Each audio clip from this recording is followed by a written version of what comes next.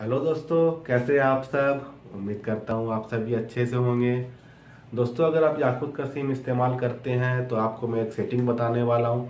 वो सेटिंग आपको लाजिम कर लेना चाहिए। अगर आप वो सेटिंग नहीं करते हैं तो आपका नुकसान हो सकता है। तो कौन सा सेटिंग है, इस चीज़ को जानने के लिए चलिए शुरू करते हैं आज का वीडियो। लेकिन दोस्तों, वीडियो शुरू करने से पहले आपसे छोटा सा रिक्वेस्ट है। अगर अभी तक आपने मेरा चैनल सब्सक्राइब नहीं किया है तो सब्सक्राइब कर लीजिए। क्योंकि मैं आपके लिए हमेशा इसी तरह का इंटरेस्टिंग यूजफुल वीडियो बना के अपलोड करते रहता हूँ। तो चलिए और देरी नहीं करते हैं शुरू करते हैं आज का वीडियो और जानते हैं कि वो कौन सा सेटिंग है जो आपको लाजिम करना चाहिए।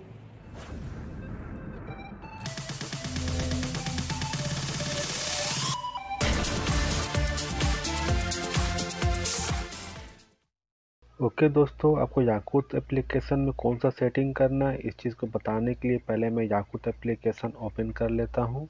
जैसे कि आप देख रहे हैं, मेरे याकूत सिम का और तीन दिन का वैलिडिटी बाकी है और इसमें मेरा डाटा जो है सात जीबी के आसपास बैलेंस है। जैसे दोस्तों याकूत का यह पैकेज हंड्रेड रियाल में पचास जी था, लेकिन मुझे फिफ्टी परसेंट डिस्काउंट मिलने के बाद यही पैकेज मैंने पचास रियाल में लिया था।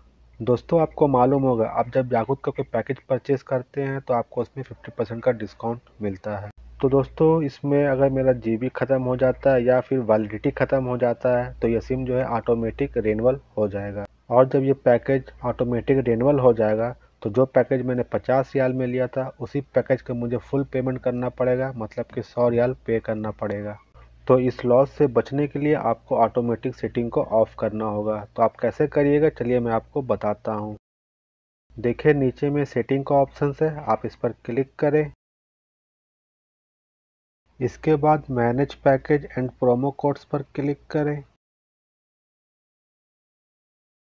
अभी इस एरो के निशान पर क्लिक करें।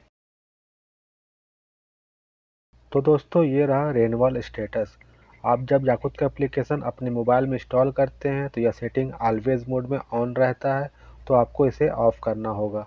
जैसे कि आप देख सक रहे हो दोस्तों, यहाँ पे शो हो रहा है automatic renewal is on will be renewal in four days इसका मतलब है, जब मेरा पैकेज तीन दिन के बाद ख़त्म हो जाएगा, चौथे दिन अपने आप ऑटोमेटिक रिन्यूअल हो जाएगा।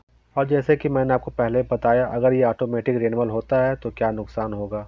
तो अगर आप ऑटोमेटिक रेनवल नहीं चाहते हैं, इस सेटिंग को ऑफ़ करना चाहते हैं तो आप सिंपल आप इस बटन पर क्लिक करें। और इसके बाद यस टर्न इट ऑफ़ पर क्लिक कर दें। इस तरह से आपका ऑटोमेटिक रेनवल का सेटिंग ऑफ़ हो जाएगा।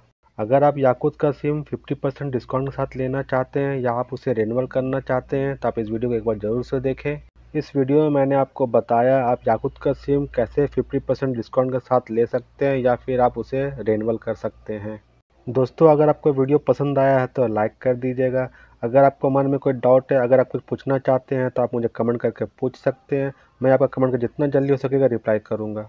दोस्तों, अगर अभी तक आपने मेरा चैनल सब्सक्राइब नहीं किया है तो सब्सक्राइब कर लीजिए, साथ ही बेल के आइकन पर क्लिक करके उसको नोटिफिकेशन को ऑल में कर लीजिए, ताकि आगे जब भी मैं आप लोगों के लिए इसी तरह का इंटरेस्टिंग यूज़फुल वीडियो बना के अपलोड करूँ, उसका नोटिफिकेशन आपको सबसे पहले मिले। ओके दोस्तों तो चलिए जल्दी मिलता हूँ आपसे किसी दूसरे टॉपिक के वीडियो के साथ। तब तक के लिए bye bye and take care